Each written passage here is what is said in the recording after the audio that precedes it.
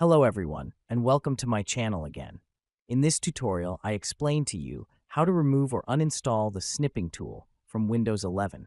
The snipping tool is a built-in application in Windows 11 that allows you to quickly take screenshots, annotate them, and save or share the images.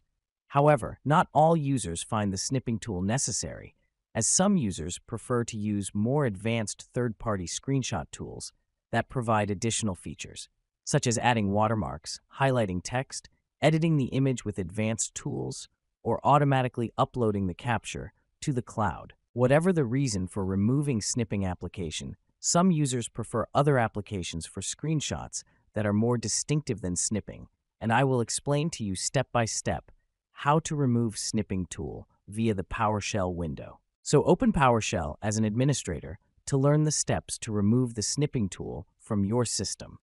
First, you will need to check whether the snipping tool is installed or not, and the snipping tool is internally known as Screen Sketch in the Windows 11 package system.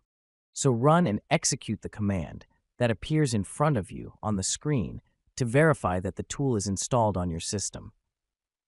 I will leave you the command in the video description so that it is easy for you to access it.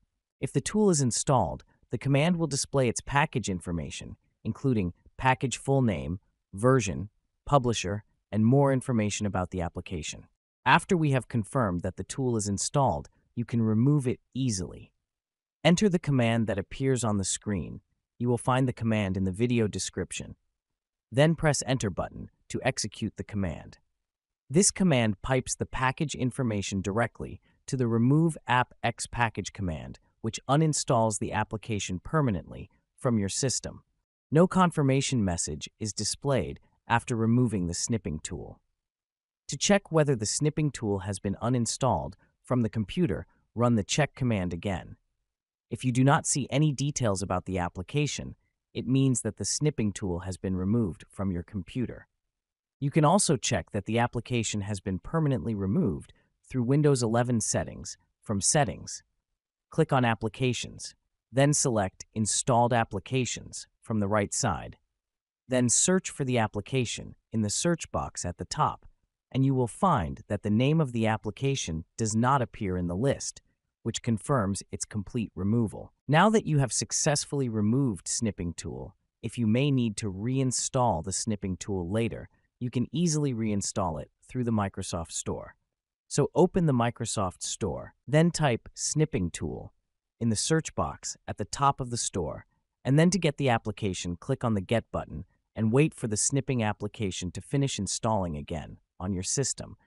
And this will return the application with the latest version directly from Microsoft. And that's all in today's tutorial, removing the snipping tool from Windows 11. Using PowerShell is very easy, in case you don't need it, and also reinstalling it later if you need it. This method is useful if you prefer more advanced third-party screenshot tools, or if you are trying to fix snipping tool problems by reinstalling it freshly from the Microsoft Store. If you found this video helpful, please like the video and don't forget to subscribe to my channel and turn on the notification bell so you don't miss any future tech tips and tricks. Thanks for watching, and I'll see you in the next video.